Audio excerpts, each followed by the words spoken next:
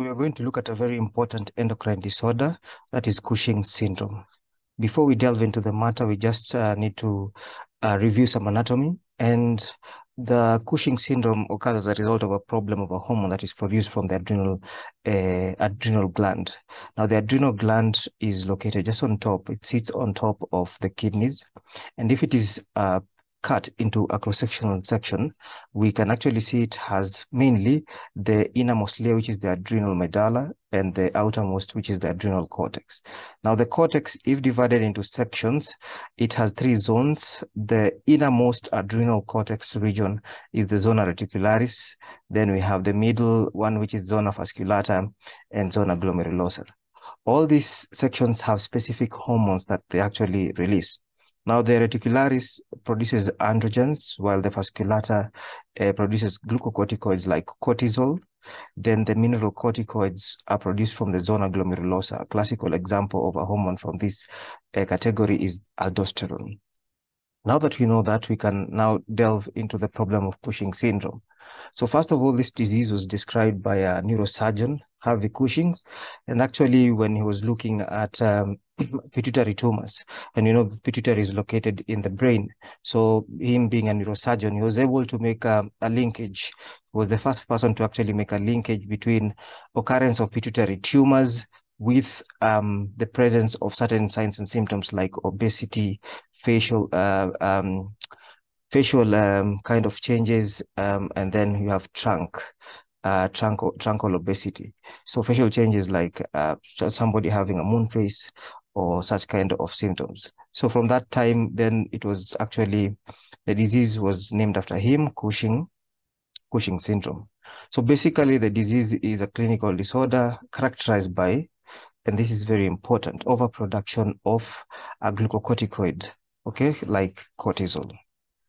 So we have several ways we can end up having this excess production, mainly uh, the problem being um, endogenous causes. And the main cause, the main cause of excess production of cortisol is when you're having uh, a hyperplasia of the, uh, um, of the, basically of the, of the adrenal, bilateral adrenocortical hyperplasia. Okay. So what what happens in this case is that we end up having overstimulation of the adrenal cortex basically as a result of uh, overproduction of a hormone that stimulates the adrenal glands. So this hormone is adrenocorticotropic hormone. So when we end up having excess production of ACTH it overstimulates. It overstimulates the adrenal cortex uh, specifically the region that produces um, in this case cortisol and we end up having therefore excess production of cortisol which uh, is found in blood. So that is the major cause bilateral adrenocortical uh, uh, adrenocortical hyperplasia. So the other ones we can have um, ectopic production of ACTH from uh, non-pituitary tumors and also adrenal adenoma. So having an adenoma or tumor exactly at the adrenals uh, so as you realize this, this um, especially the first one, the problem majorly is at the pituitary because it is at the pituitary that we release ACTH. Therefore, um, actually this condition where you have a problem with the pituitary leading to excessive production of ACTH is called Cushing disease. So Cushing disease is the number one cause of Cushing syndrome. Then you have other exogenous causes where like you have um, long-term um, long-term intake of corticosteroids, uh, like in cases where we have treatment of asthma. Then um, when, when um, if we look at the normal physiology, basically, uh, we know that we have stimulation of production of cortisol from um, a very, a very straightforward uh, channel. And in this case, ACTH um, uh, stimulates the adrenal gland, okay? And ACTH is produced from the pituitary. Before ACTH is produced, it is the pituitary is also stimulated by CRH, which is corticotropin releasing hormone from the hypothalamus. So it starts from the hypothalamus where we have secretion of cortical, uh, corticotropin releasing hormone, goes to the anterior pituitary, stimulates the production of uh, adrenocorticotropic hormone, which now goes to the adrenal gland to, uh, to stimulate production of cortisol. So it's quite a straightforward uh, kind of axis of production of this uh, cortisol hormone. In therefore, we have um, negative feedback mechanisms that are made. If we have excess cortisol in blood, we will have um, a negative feedback mechanism being sent to the hypothalamus to reduce production of CRH, and also information being sent to the anterior pituitary to reduce production of ACTH. Uh, therefore, we will have reduction on production of cortisol and therefore regulate the amount. Now, cortisol has different roles and more importantly, we have uh, things like it plays a role in uh, increasing the blood pressure, uh, suppression of the immune system. Uh, it also very importantly counteracts the action of insulin. Okay, therefore we'll end up having a lot of uh, blood sugar, sugar in uh, in in the blood. So it also reduces the amino acid intake. also affects bone formation, and it also aids in metabolism of fat. And as you'll see, then therefore we have uh, some signs and symptoms as a result of this.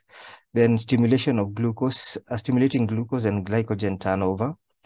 And then it also affects the circadian rhythm. And also to mention, it plays a very important role in increasing sodium and water retention, as well as affecting fertility. So how does the problem occur? Remember the negative feedback mechanism we talked about. So when um, ACTH uh, feedback uh, does not respond, if when the pituitary does not respond to the negative feedback mechanism, we end up having excessive production of ACTH. Therefore, we have a lot of production of cortisol, even when we don't need it. Ideally, by the way, in our body, cortisol is normally released in response to stressful situations. So when you have some, some uh, sort of stressful condition, stressful situation, like you can have infection or trauma or such, such kind of things, ideally or normally your body produces cortisol. However, that is regulated where the stress uh, levels go down. Um, however, when we don't have a proper negative feedback mechanism, the cortisol will continue being produced and we end up having hypercortisol, uh, hypercortisolism. So the features we expect are like central obesity. Remember we talked about um, the issues of fat. So central obesity uh, with the extremities being uh, um, a bit thin, okay? So we have um, redisposition basically of fat.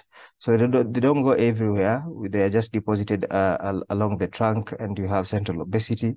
Also, we have moon face and also a fat pad, especially just around the, um, like almost around the shoulder region, just below the neck, uh, what, what we call a buffalo hump.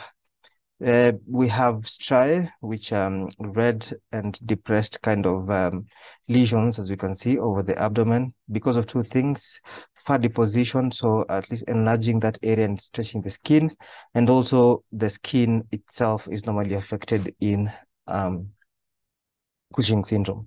Then we also have sudden weight gain. Remember, we have a lot of blood glucose, so we actually storing it in um, uh, fat deposits and we have hypertension. Remember, we said it increases blood pressure and also water retention. So we have hypertension, hyperlipidemia, uh, because of the, the fat is being uh, broken, lipolysis is happening and it's being taken to uh, the blood. Uh, osteopenia, we talked about the issue of the bones being affected. Easy bruising, okay, because the skin is affected. it can also lead to diabetes mellitus or glucose intolerance. Remember, we said uh, that it counteracts the action of insulin. Then decreased libido, depression, psychosis, acne, uh, that's a skin problem. It can also lead to hirsutism and also proximal muscle weakness and recurrent opportunistic bacterial infections because we, we talked about uh, immunity being reduced. So this is just in a nutshell the kind of problems uh, we can have. And it is not a must that somebody has all these signs and symptoms, but provided they have some of them, then it can point out to Cushing's syndrome. However, most of the time, some of the time you have uh, patients having plenty of the signs and symptoms. And as you can see, it's not a good thing. Now, diagnosis um, is through history taking and physical examination, but we have to actually ascertain using laboratory tests like um, looking at the serum cortisol levels. And also there's another test or uh, dexamethasone suppression test to actually see whether um, the administration, a low dose administration of dexamethasone, um, with because dexamethasone is cortisol in um, it's a synthetic form basically of a glucocorticoid. So is that going to lead to lower lower production, or we end up having uh, the levels going up and up? Okay, so then you have urinalysis, uh, 24 hour urine free cortisol level. So that is what we check. Then remember we, we talked about um, the hypertrophy, so imaging and so such as MRI and CT scan to look at the pituitary and also the adrenals. The, we, we talked about one of the cause being uh, an adrenal adenoma. So also looking at such kind of problems. So management, 80% of the causes of uh, Cushing syndrome is Cushing disease and it, it, results from a problem in the pituitary. So a transsphenoidal uh, removal of the tumor is very important because that will help. Uh, if you are able to remove the part of the affected, you might end up uh, salvaging the situation. Uh, another way of handling the pituitary is irradiation um, that can induce remission of the disease. But also remember in exogenous um, uh, exogenous Cushing's, uh, we can end up having um, over intake of corticosteroid. So if you reduce corticosteroid use and use only when necessary, then that can also reduce uh, the chances of uh, having this disease progress. Then uh, the other medications like uh, ketoconazole, which is an inhibitor of um, adrenal steroid uh, synthesis.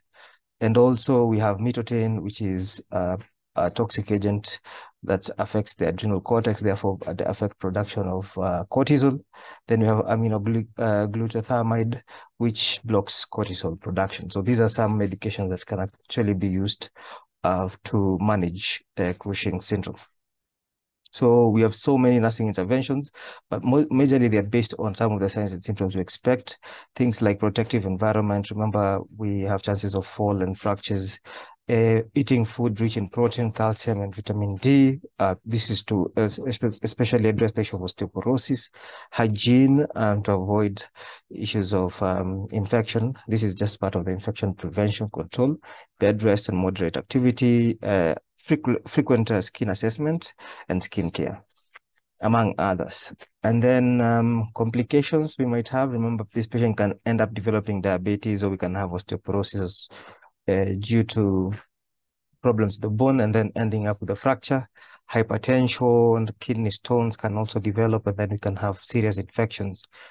Uh, in some instances, if we don't do anything, the tumors that are enlarging can continue enlarging and then cause uh, more problems.